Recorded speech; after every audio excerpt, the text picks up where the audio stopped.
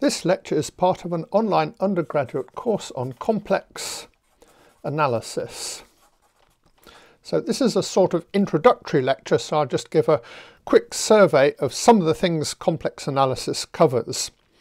So first of all, complex analysis is pretty similar to real analysis, except that it works with complex numbers of the form a plus iy, where x and y are real, and i squared is equal to minus 1. So, so just as we represent numbers on real numbers by putting them as numbers on a real line, for instance, we have 0, 1, 2, and pi will be somewhere over here, we represent complex numbers as elements of a plane. So the complex number x plus iy we represent as the point xy of a plane. So for example, the number i would be up here, and this would be 2 plus i, and so on. Um, so the um, numbers that are multiples of i are called the imaginary axis, and the multiples of real multiples of 1 are just called the real axis. Um, a lot of complex analysis is really pretty similar to real analysis. So we have the usual um, arithmetic operations for complex numbers. We can do exponentials, we can do trigonometric functions, we can do differentiation and integration. And many of the rules for real analysis work just as well for complex analysis. We can also do things like take limits and we can sum series and so on. So um, what I'm going to do now is, is to mention some of the differences between complex analysis and real analysis.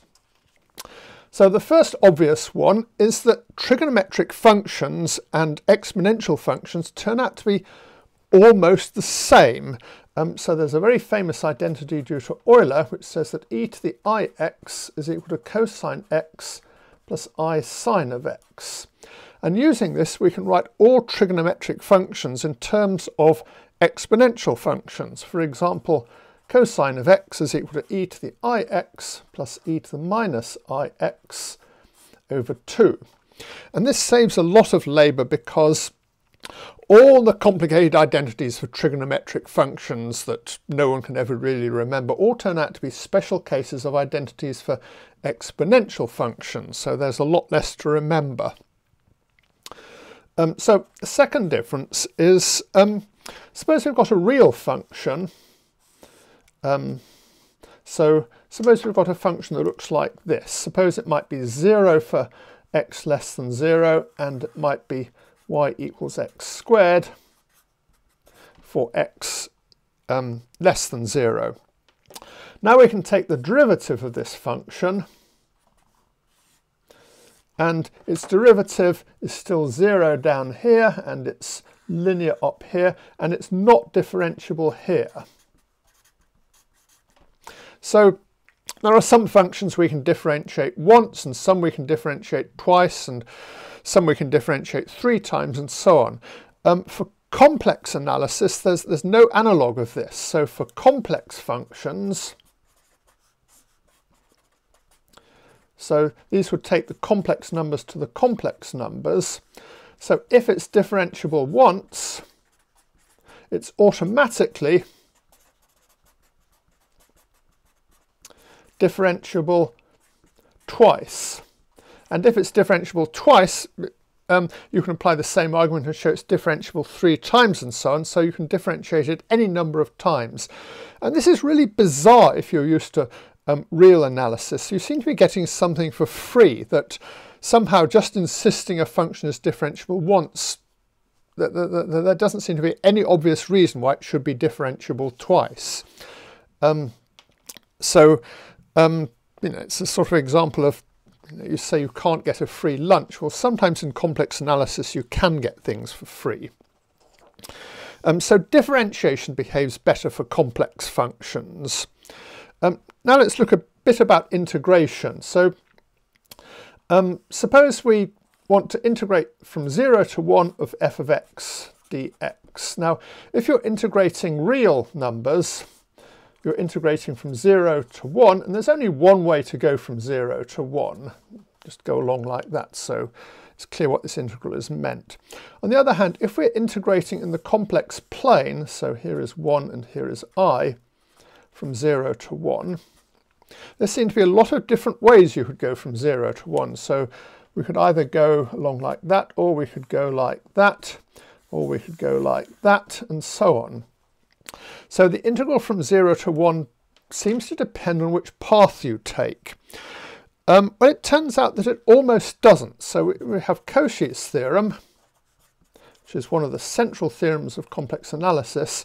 So the integral from 0 to 1 of f of x dx is almost independent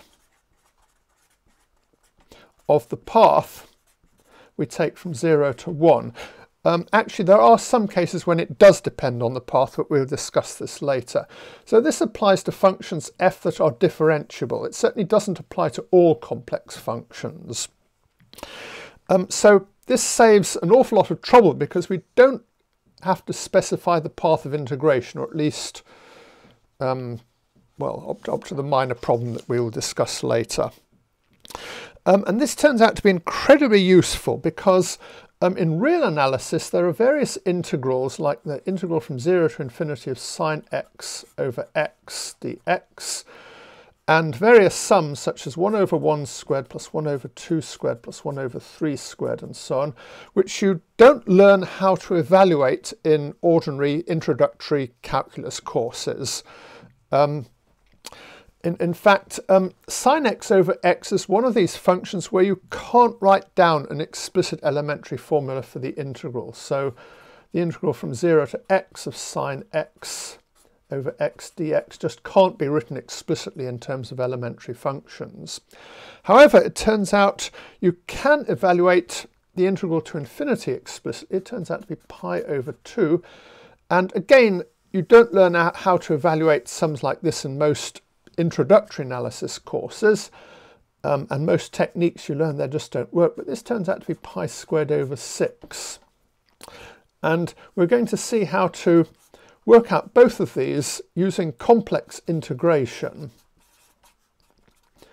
And this may be a little bit surprising because neither of these, this integral and this sum don't have anything to do with complex numbers at first sight, but it turns out that complex integration gives a way to evaluate series and sums like that. Um, next we have the phenomenon of analytic continuation. So suppose um, I give you a function um, on zero on the interval 0 to 1 and I might give you a real differentiable function and the function might look like this it might look like 0 up to a half and then it might look like a parabola from a half to 1 or something like that. So we've got a differentiable function. Now I'm going to ask you to calculate its values and I'm going to ask you to calculate its value at the point minus 1. And this is a completely stupid question because if I tell you the function between 0 and 1, there's just no way you can evaluate it at minus 1. I mean, it's you could guess maybe it continues as 0 or maybe it continues um, like that or whatever. Um, we, we just have no real information about its value at minus 1. However, for complex functions, if I give you a function on the interval from 0 to 1, and it's differentiable, um, it's automatically determined in any connected region. So, so a function on, say, 0 to 1 is determined uniquely on any larger open connected set. And that's provided the function is a complex differentiable function. Um, and uh, uh, again, we seem to be getting something for nothing. I'm only telling you a function on, say, the interval 0 to 1 or in some small region, and somehow this magically determines it on, on a much larger region. So there's a very famous or possibly notorious example of this, which is the Riemann zeta function. So this is one of the most famous functions in mathematics. It's denoted by zeta of s is 1 over 1 to the s plus 1 over 2 to the s plus 1 over 3 to the s and so on. So for example zeta of 2 is the series I mentioned earlier. It's 1 over 1 squared plus 1 over 2 squared plus 1 over 3 squared and so on, which is pi squared over 6, as we will see later. Um, and this is possibly the single most notorious function in mathematics, um, in particular because of the Riemann hypothesis, which says all zeros of zeta of s are either real or have real part a half. So let's draw a picture of this. So here's the complex plane and here's the point 0 and here's the point 1 and here's the point i. And the Riemann zeta function um, has all its zeros. Well, it's, it's got a few zeros at minus 2 and minus 4 and some that we won't worry about. But there's the so-called critical line,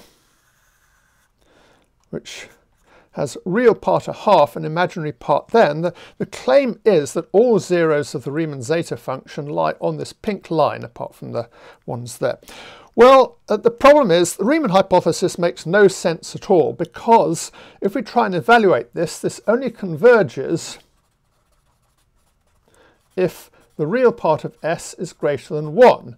For example, if s is equal to 1, we get the series 1 plus a half plus a third and so on, which is equal to plus infinity.